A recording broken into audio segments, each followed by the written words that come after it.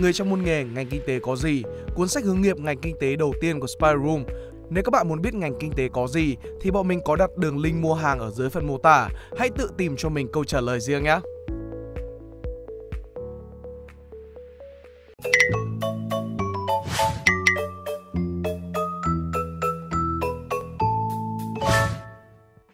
Yo, what's up? Chào mừng anh chị em đã quay trở lại với Spy Room. Hôm nay chúng ta sẽ đến với phần 2 của bài viết Bức tranh nghề nghiệp ngành Marketing và Communication. Nếu các bạn chưa xem phần 1, bọn mình có để link ở phần mô tả. Còn nếu các bạn đã xem phần 1 rồi, let's go! 3.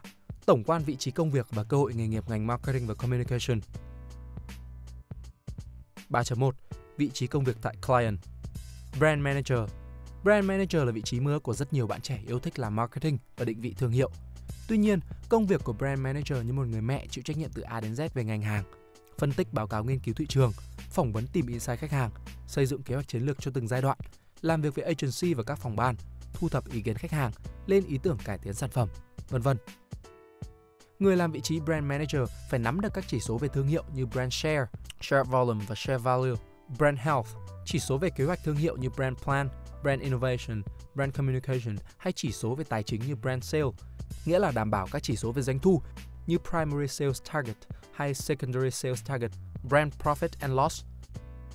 Có thể nói vị trí Brand Manager là một công việc cực kỳ vất vả và đòi hỏi kinh nghiệm lớn về insight ngành hàng, tư duy phân tích dữ liệu. Chính vì thế, tại các tập đoàn lớn, Brand Manager được đào tạo từ các vị trí Brand Officer hay Assistant Brand Manager thông qua các chương trình tập sự của công ty. Lộ trình nghề nghiệp thường gặp Assistant Brand Manager đến Brand Manager và cuối cùng là đến Group Brand Manager. Trade Marketing Manager không giống như Brand Manager, Trade Marketing Manager sẽ chịu trách nhiệm về ngành hàng thay vì chỉ một nhãn hàng. Nhiệm vụ của Trade Marketing Manager là lên ý tưởng, xây dựng và triển khai các kế hoạch thúc đẩy bán hàng, trưng bày sản phẩm, kích hoạt thương hiệu, khuyến mãi, vân vân tại các điểm bán. Nếu Brand Manager có vai trò gia tăng thị phần thì Trade Marketing Manager lại chịu trách nhiệm trực tiếp về doanh số bán hàng. Khi làm những công việc của Trade Marketing hay muốn đạt được vị trí Manager của phòng Trade, bạn cần phải nắm bắt được các chỉ số và nhiệm vụ sau: Customer Development, Category Development, Shopper Engagement và Company Engagement. Ngày nay, một số tập đoàn lớn đã đổi Trade Marketing thành Shopper Marketing. Theo chị Diệu Anh, Managing Director tại AIM Academy, bởi Shopper Marketing mang hàm nghĩa rộng hơn, làm việc với cả shoppers và customers thay vì chỉ làm việc với customers theo định nghĩa của Trade Marketing. Do tính chất công việc của Trade Marketing, do đó tùy mô hình công ty mà phòng Trade có thể nằm dưới phòng Marketing hoặc dưới phòng Sale hay tách ra là một phòng riêng. Tuy vậy, tính chất của phòng Trade và các chỉ số liên quan đều không thay đổi.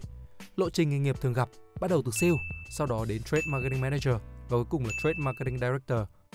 Bộ phận Support Service Trong các tập đoàn lớn, trong phòng marketing, ngoài Brand Manager và Trade Marketing Manager, còn có các vị trí khác được gọi là Support Service. Chịu trách nhiệm chính là làm việc, quản lý và kiểm soát các công việc của các agency liên quan như Market Research, Analytics Manager, Media Manager, Assistant Manager và các Executive. Đối với các công ty startup hay công ty SME thì gần như những đầu việc này sẽ do Brand Manager phụ trách chính. Ngoài những bộ phận trên, trong client còn có một vị trí vô cùng quan trọng đối với các sinh viên là Intern Marketing. Vị trí intern này có thể giúp các bạn sinh viên đặt một chân vào cánh cổng của những tập đoàn lớn hay được trang bị những kiến thức vững chắc để thăng tiến trong công việc. 3.2 Vị trí công việc tại agency Với mỗi agency sẽ có những vị trí khác nhau tùy từng nhiệm vụ. Tuy nhiên, xét về góc độ tổng quát, trong một agency vẫn sẽ có những vị trí sau. Account Manager Account Manager chính là người tiên phong ra trận, đứng đầu tiền tuyến trong các agency. Trách nhiệm của account là mang hợp đồng về cho công ty, là bộ mặt thương hiệu của agency. Chính vì thế, account manager thường là người giao tiếp tốt, giỏi thiết lập các mối quan hệ và có tầm nhìn xa trông rộng.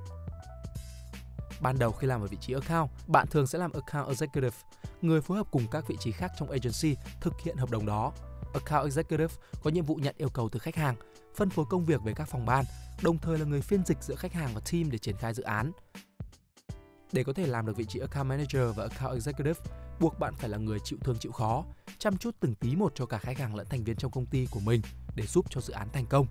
Lộ trình nghề nghiệp thường gặp từ account executive đến account manager và cuối cùng là account director. Strategic planner Strategic planner chính là người hoạch định chiến lược truyền thông. Công việc chính của một strategic planner là lên kế hoạch thực hiện sản phẩm, làm việc với các team designer, copywriter, tính giá cho mỗi dự án và kiểm tra thành phẩm trước khi giao hàng cho khách. Strategic planner phải làm việc với hầu hết tất cả mọi người trong và ngoài nội bộ công ty, từ data analyst, art director, digital strategist, media planner, copywriter cho đến cả khách hàng. Ngoài ra còn tham gia vào rất nhiều khâu trong marketing, từ quá trình phát triển sản phẩm mới, xây dựng kịch bản, lựa chọn người nổi tiếng, quản lý dự án, nắm bắt những xu hướng về ẩm thực, thời trang, giải trí, công nghệ. Do vậy, bạn cần có kỹ năng giao tiếp tốt và biết xử lý các tình huống tốt để vừa có thể thuyết phục khách hàng vừa giải quyết được những mâu thuẫn có thể xảy ra trong quá trình làm việc. Lộ trình nghề nghiệp thường gặp từ Strategic Planner tới Senior Strategic Planner và cuối cùng là Strategic Planning Manager. Copywriter Chắc bạn đã biết đến câu slogan Hãy nói theo cách của bạn của Viettel hay câu luôn luôn lắng nghe, luôn luôn thấu hiểu của tập đoàn bảo hiểm hàng đầu thế giới Prudential. Tất cả những slogan mà hầu như ai cũng biết chính là thành quả sáng tạo của các copywriter, những người sử dụng ngôn từ khéo léo để tạo sự thu hút từ khách hàng. Các nhãn hàng hay tập đoàn nổi tiếng thường thuê các agency, các công ty cung cấp dịch vụ quảng cáo marketing, thực hiện các chiến dịch truyền thông, các clip quảng cáo thay họ và tất nhiên nội dung, câu chữ của toàn bộ các quảng cáo ấy là do các copywriter vắt óc nghĩ ra. Ngoài khả năng viết tốt, nắm chắc các kiến thức về các dạng bài viết, hiểu về tâm lý khách hàng, hiểu sản phẩm và thương hiệu của nhãn hàng chính là điểm mấu chốt để các copywriter sản xuất ra các content chất lượng. Lộ trình nghề nghiệp thường gặp Junior Copywriter đến Senior Copywriter và cuối cùng là Creative Director, CD. Creative Director là người có trách nhiệm xây dựng hình ảnh thương hiệu, thực hiện các công việc có liên quan đến hình ảnh, thông điệp của các nhãn hàng hay các công ty thông qua các kênh giao tiếp và truyền thông. Graphic Designer nếu copywriter là những người tạo ra câu chữ, thì graphic designer là những người tạo ra hình ảnh, video tới khách hàng. Công việc của graphic designer thường là thiết kế POSM, bộ nhận diện theo yêu cầu, phối hợp cùng creative team thiết kế các nội dung digital, ví dụ như Facebook Photos, infographics vân vân, thuộc các chiến dịch truyền thông marketing cho khách hàng. Làm việc cùng nhóm dự án tham gia xây dựng, đề xuất các ý tưởng sáng tạo về thiết kế phục vụ cho các mục tiêu chiến dịch, nghiên cứu, tìm hiểu, cập nhật các xu hướng thiết kế mới nhằm mục đích nâng cao chất lượng và hiệu quả của các sản phẩm thiết kế. Lộ trình nghề nghiệp thường gặp từ graphic designer tới art director. Art director là người đảm bảo các chuyên gia trong tổ sáng tạo sản xuất và hoàn thành các công việc theo đúng thời gian và hài lòng yêu cầu của khách hàng. Art Director chủ yếu quyết định các yếu tố hình ảnh của dự án như đội ngũ người mẫu, tinh thần dự án, màu sắc, vân vân. Trên đây là những vị trí cơ bản trong client và agency. Bài viết này mình chỉ có mong muốn gợi mở cho các bạn những vị trí này để các bạn có thể tìm được vị trí phù hợp cho bản thân mình. Với các vị trí manager, director hay planner, đòi hỏi các bạn phải có kỹ năng và kinh nghiệm lớn cả về kỹ năng quản lý, tư duy lập kế hoạch chiến lược và cả kỹ năng thấu hiểu ngành hàng, vân vân. Chính vì thế, nếu bạn chỉ là một junior mới tìm hiểu về ngành marketing, hãy chọn cho mình vị trí khiêm tốn hơn như là copywriter, content marketing hay là account executive để thử sức bạn nhé. Bài viết được tổng hợp từ chia sẻ của chị Diệu Anh, Managing Director tại AIM Academy tại chương trình Chuyện người trong nghề 3 ngày 3 tháng 10 năm 2018. Bài viết về vị trí công việc của agency và client của Tomorrow Marketer. Trong bài mình không đề cập tới lương vì theo mình, mức lương của bạn sẽ tùy thuộc vào giá trị của bạn nằm ở đâu và những gì bạn cống hiến được cho công ty. Do đó, tiền lương của bạn sẽ nằm gọn trong tay của bạn.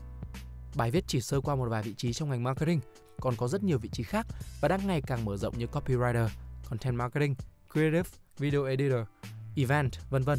Mình sẽ cố gắng tổng hợp và viết trong thời gian sớm nhất. Cơ hội nghề nghiệp của các bạn trong ngành là vô cùng lớn nếu bạn có tinh thần học hỏi, đặc biệt là tiếng Anh tốt. Mình sẽ tổng hợp danh sách các công ty client, agency cho các bạn, cũng như nói về những ưu nhược khi làm việc tại công ty lớn, nhỏ, freelancer trong bài viết bức tranh nghề nghiệp ngành marketing and communication phần 3. Hy vọng các bạn sẽ thích video lần này. Đừng quên like, share và subscribe của chúng mình. Và nếu các bạn thích những nội dung như trên thì xin hãy đăng nhập vào spyroom.com để tìm đọc thêm. Mình là Việt Anh. Xin chào và hẹn gặp lại.